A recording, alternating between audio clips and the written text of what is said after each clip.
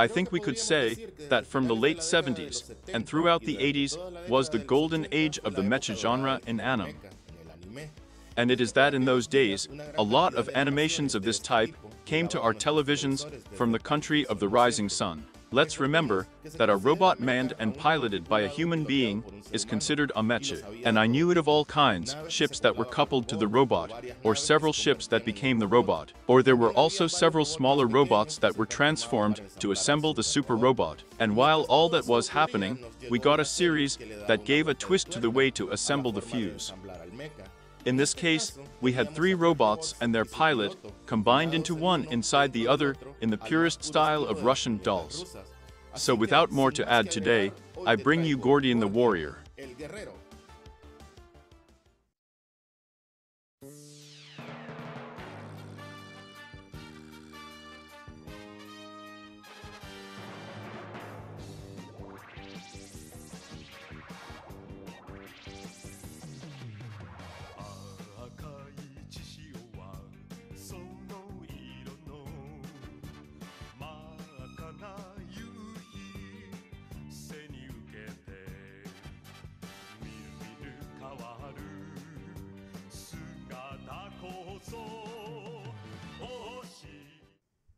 Look, I don't know about you, but even after so many years, to this day, my hair stands on end every time I hear that intro. But before I start, I want to thank you for all the support that the channel has received lately. There are already a little more than a thousand of us in the channel who would have said that. Thank you all really.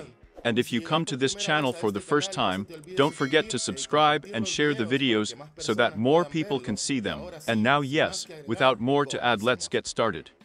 Before I started collecting information for this video, my friend from the channel, I lived in the 80s, told me that this animation did not reach his country Peru, and then, while researching, I saw that the same thing happened in several other countries. So I hope this video shows you a little more about this excellent animation, and don't forget to visit the channel I lived in the 80s. I assure you that you really won't regret it.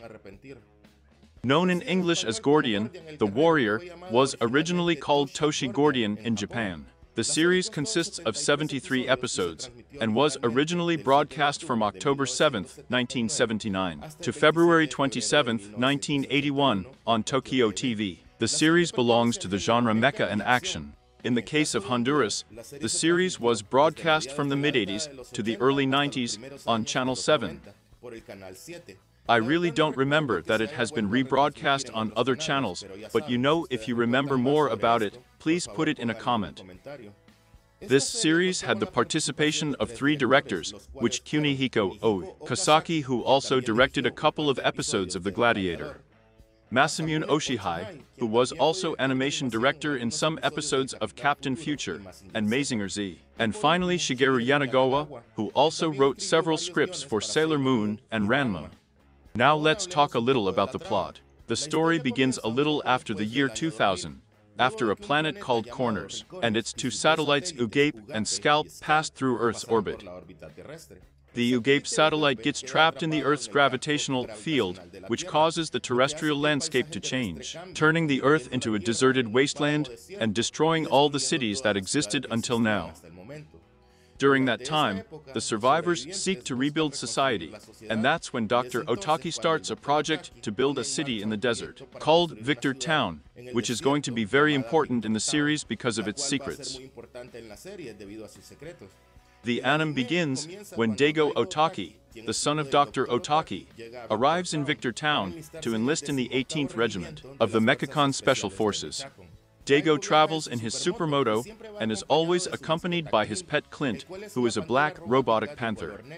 During his first night in Victor Town, there is an attack by the Maddox, who are the forces that intend to take over the world, and all the secrets that exist in Victor Town, as well as eliminate all the people they consider inferior.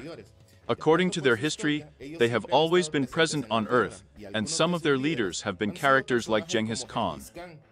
They are aliens who come from the planet Dogma. During the attack, when the Mechacon forces are being defeated, a giant robot named Gordian appears unexpectedly, which defeats the Madocter and kidnaps Dago. After this, Dago discovers that the robot was piloted by his sister Saori, who is seriously injured for having used Gordian. Until that moment, Dago did not know that he had a sister and also discovers that the Gordian robot was inherited by his father, and only he can pilot it. Thus begins the main story of Dago, who uses Gordian to protect Victor Town and fight the Madocter. As the story progresses, several secrets are discovered, such as that Dr. Otaki was working on something called the X Project, which included Gordian, Dago, Clint, and also something called the Extron mineral, which is a mineral that has a life of its own. Since the beginning of the series, we are given a hint that Dago is not really what we all believe. Since Dr. Otaki, whose consciousness lives in a computer like this Avenger role, tells Saori that Dago is, and at the same time is not his brother. As the series progresses, we will see who Dago really is.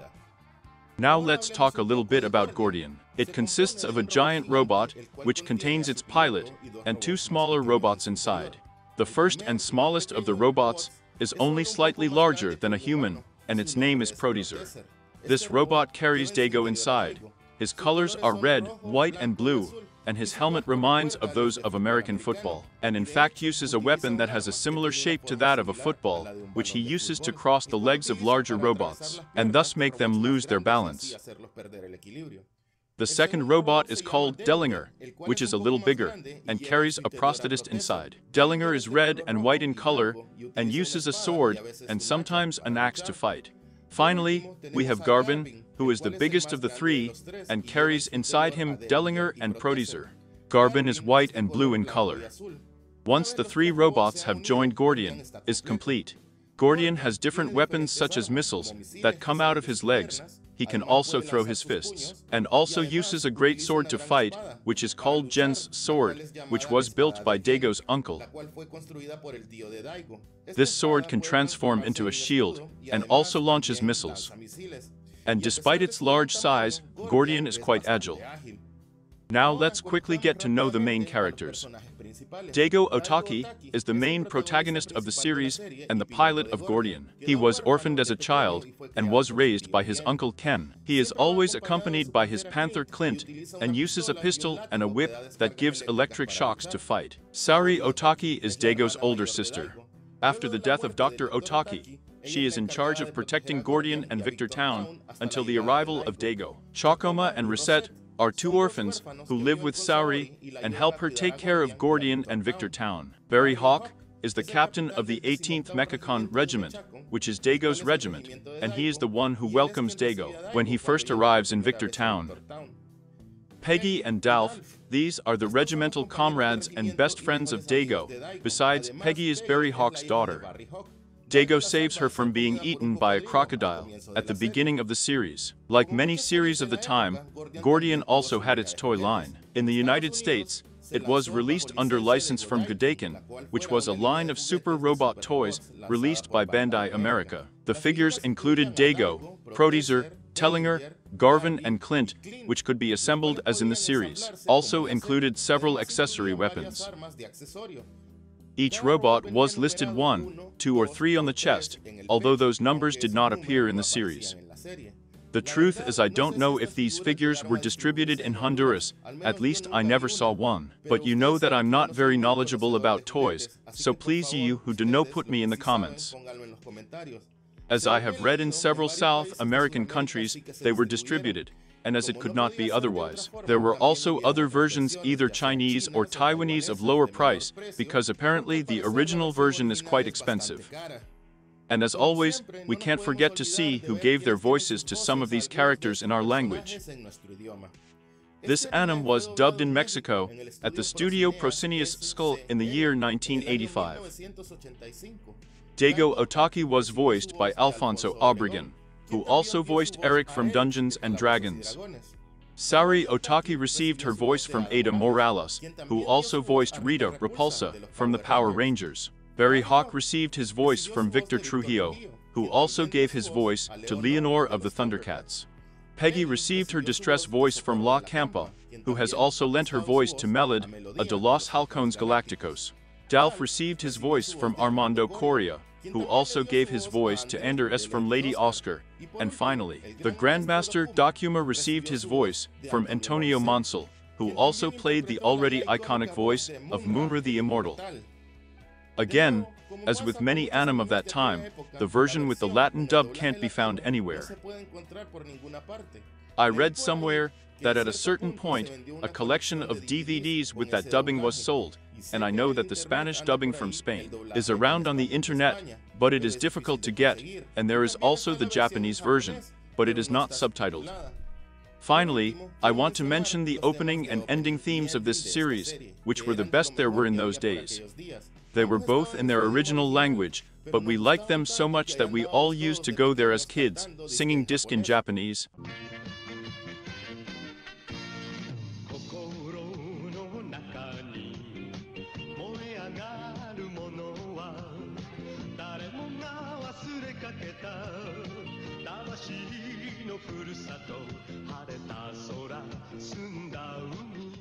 Both songs were performed by Deijiro Shiomi, who, as I understand it, had released several pop music albums in Japan and was famous there. I really hope you enjoyed this video, and if so subscribe and give me a like. If the content of this channel is to your liking, I ask you please your support by sharing the video, because that would really help me a lot. As always, I send you a greeting, and until the next video, when I bring you another super robot.